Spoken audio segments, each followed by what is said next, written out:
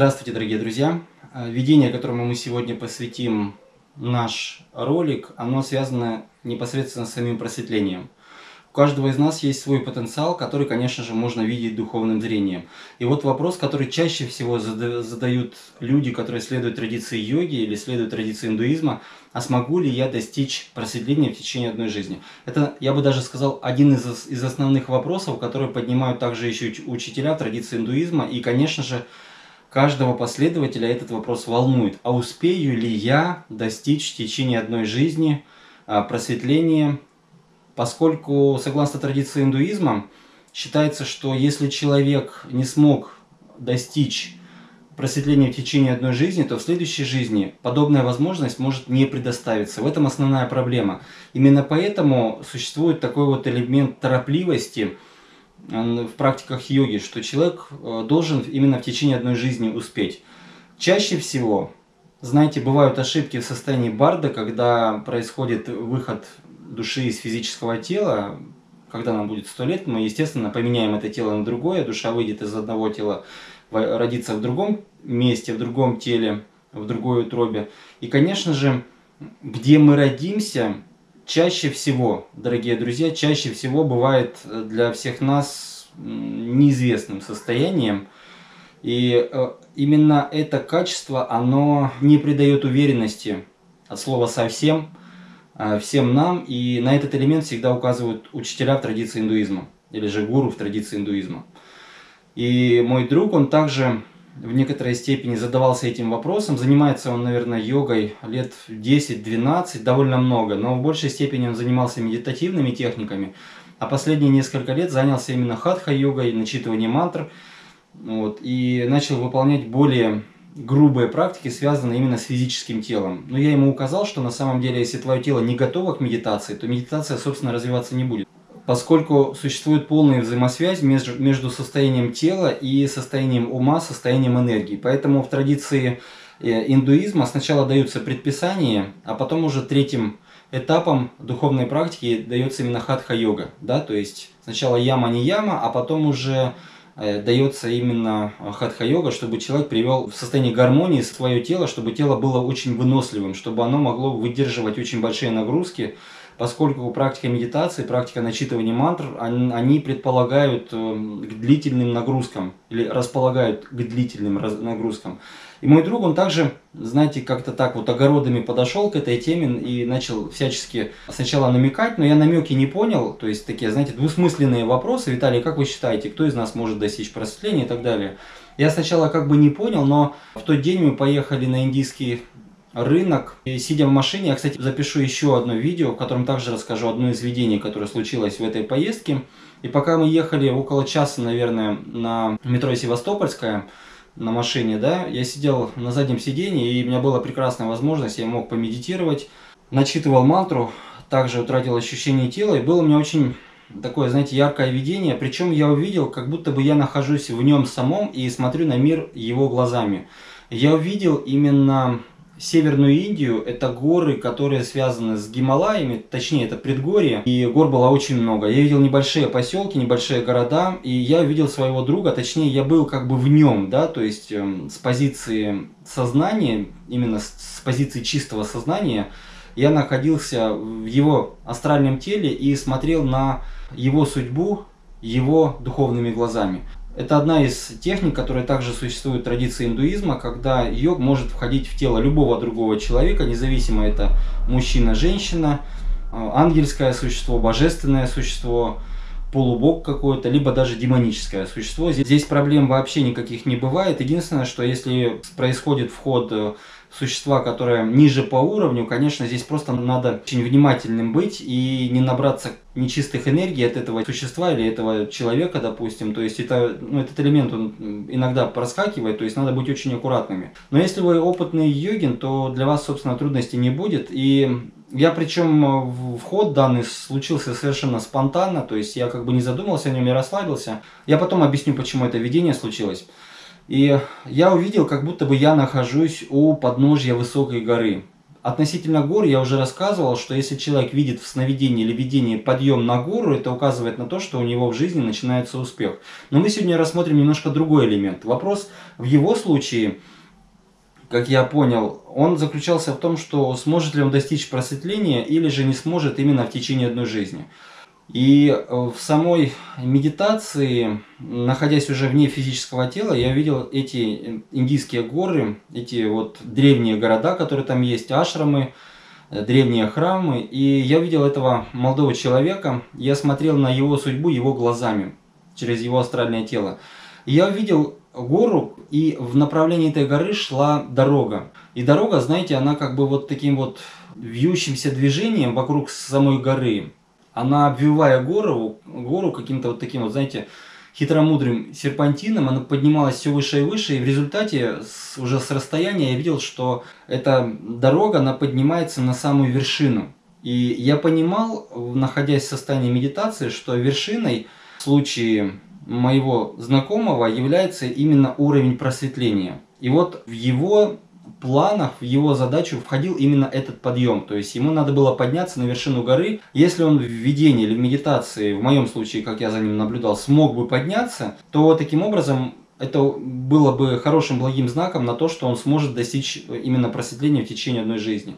Ну и я, естественно, наблюдая за его астральным телом, я начал наблюдать, как он пошел в эту гору по этой серпантинной дороге, все выше и выше и выше. Хочу сразу сказать, что дорога была довольно утомительная, то есть это была очень большая нагрузка и на сердце, и на тело, и ну, на все. То есть напряжение было очень мощное. Но подъем в горы он всегда сопровождается вот таким вот большим перенапряжением. Но при этом отметил, что дорога, по которой он шел, она была очень надежная. Да? Она, во-первых, была широкая, во-вторых, не было нигде ни оврагов, ни каких-то скосов, нигде не надо было прыгать, просто равномерно, планомерно развиваться, регулярно выполнять практики, выполнять э, начитывание мантры. Таким образом, все это является как бы частью данного пути, данного подъема на гору. По большому счету, я поднялся, как бы наблюдая за ним, практически на вершину горы, и когда уже оставалось буквально там, возможно, с полкилометра, я уже видел как бы с большого расстояния, что все хорошо, он подняться может, и по сути он уже поднялся, да, то есть видение имеется в виду. И, и ему остается там совсем чуть-чуть, и я уверенно чувствую, что он поднимется без всяких проблем, этот отрезок пути, и мне как бы не надо уже дальше идти, и естественно я его покидаю, да, то есть его астральное тело оставляю, я понимаю, что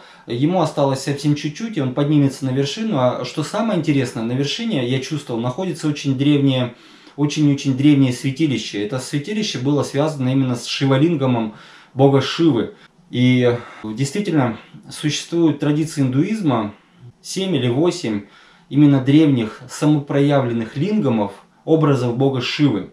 Они считаются самыми редкими, самыми сильными, самыми почитаемыми в традиции индуизма. То есть такие, знаете, очень сакральные места они очень древние, да, то есть им не, их не то, что там несколько тысяч лет, им, наверное, несколько сотен тысяч лет, насколько они древние. Когда я смотрел на этот Шивалингам, я понимал, что вот этот вот сам символ образа бога Шивы, этот символ является уже просветлением. И то, что он поднялся на гору, и то, что он дойдет до самого конца, и у него будет возможность поклониться данному лингаму, да, совершить какое-то почитание, подношение цветов, гирлянд, масел, меда и так далее, как это выполняется в традиции индуизма, это в моем видении свидетельствовало о том, что он сможет достичь просветления. Я, конечно же, за него очень порадовался, но обратите внимание, на вершине горы был именно Шива Лингам, то есть образ бога Шивы. О чем это говорит? О том, что просветление он сможет достичь только на пути следования богу Шиве.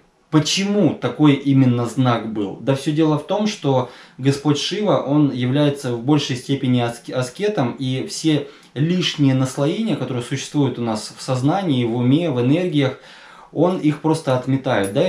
То есть традиции индуизма или традиции шиваизма говорится, что весь мир по сути является сном, и что весь мир это иллюзорное восприятие, что мы находимся в Авиде, э, в состоянии невежества. И от этого невежества, конечно же, нужно избавиться, нужно достичь просветления. Именно такая идея доносится. И на этом пути происходит очень мощный отсев всех вот этих вот побочных наших чувств, эмоций, всевозможных стремлений лишних, да, то есть кто-то стремится к просветлению, а кто-то стремится к просветлению и частичному удовлетворению своих желаний.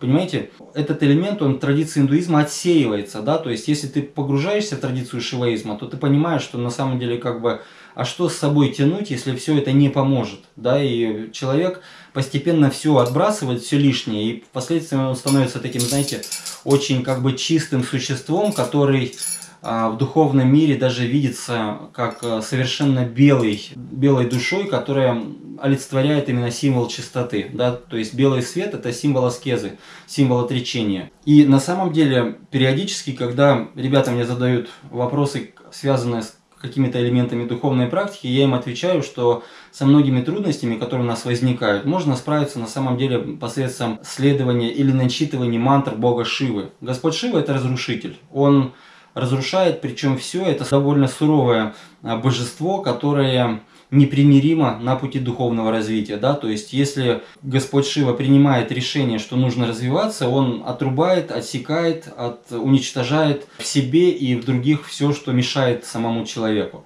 Но следовать данной традиции, я еще раз повторю, эту тему я также поднимал, ну или следовать традиции бога Шивы, можно в том случае, если у нас нет семьи и нет каких-то очень больших родственных обязательств, да, то есть если мы не связаны оковами родственных отношений, семья, дети, жена, муж, родственники, престарелые родители. В этом случае, конечно же, нужно поостеречься и выполнить те семейные обязанности, которые нам необходимы по карме. Эту тему впоследствии мы также поднимем, но не сейчас. И вот, чтобы, следуя традиции бога Шивы, мы не погрузились в само отречение настолько, что мы не разрушили свою собственную семью, не бросили детей и жену, как это делается, собственно, в традиции христианства, когда человек уходит в монастырь. Чтобы, этого, чтобы это не случилось, еще раз подчеркиваю, нужно почитать Бога Шиву именно в сочетании или в соединении с его супругой богиней Парвати, да, или богиней Кали. Шива Кали или же Шива Парвати. У них еще очень часто на изображениях Шивы и Парвати на руках либо Шивы, либо Парвати сидит маленький Ганеш ну или Субрамания. Это их детки. И в этом смысле, если мы будем почитать именно это божество, тогда это божество сохранит нашу семью, и мы сможем одновременно и совершать духовную практику, и следовать пути духовного развития. Если нас не связывают брачные узы, соответственно, можно почитать непосредственно самого бога Шиву, и тогда нам на самом деле будет э, намного легче. Да? То есть, поскольку нет обязанностей, нас ничего не связывает, тут уж намного легче практиковать. Но сразу хочу сказать, что это довольно радикальный, очень серьезный путь, и он довольно сложный. Как по мне, мне больше нравится традиция Нарайны, традиция аватаров, и именно этому пути я следую. То есть йога, э, семейная жизнь, и вы сами можете видеть, что невзирая на то, что у меня семья, мальчишки мои, супруга прекрасная, да, тем не менее, развитие в моем случае имеется. У меня есть и знаки пробуждения, и уровень какой-то самадхи, и опыты я регулярно получаю, да, и мистические способности проявляются и так далее. То есть, в принципе, возможно развиваться и в семье без проблем. Вообще проблем нет. Очень важно понимать, как это работает, и важно найти, конечно же, духовного учителя, который сможет нам все это объяснить, донести до нас, да. Есть действительно нюансы, которые очень важны. Ну вот, собственно, все относительно самого просветления. Данный молодой человек, у вас есть возможность достичь просветления отвечаю прям вам в видео. Все дело в том, что когда мы ехали в машине, я первое, что спросил у него, поскольку само видение случилось совершенно спонтанно, это указывает на то, что я не интересовался этим. Но у этого молодого человека был вопрос, он хотел, чтобы я просмотрел данную ситуацию и смог ответить для него на этот вопрос. Отвечаю вам прямо в видео, и данный ролик, он также будет еще и, скажем так, обучающим материалом для других, чтобы мы умели и понимали и разбирались во всех этих тонкостях духовного зрения, духовной практики. Это очень важно. Поэтому, когда я у него спросил, он действительно признался, да, у него был такой внутренний вопрос, он очень хотел получить именно этот ответ. И именно поэтому видение, которое пришло мне, оно было совершенно спонтанным. Я еще раз хочу сказать, я не задавался этим вопросом. Вот так работает духовное зрение, вот так приходят переживания, и таким, таким же образом мы получаем знаки о уровнях просветления. На сегодня, дорогие друзья, достаточно. До новых встреч!